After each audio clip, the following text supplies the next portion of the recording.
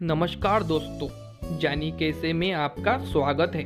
हम रोज़ाना स्वास्थ्य संबंधित जानकारी लेकर आते हैं।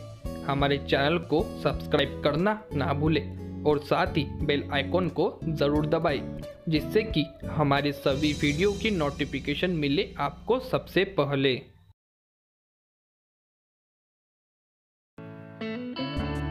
नंबर एक, वज़न पर नियंत्रण। बढ़ता वज़न कई बीमारी का जन्म दे देता है।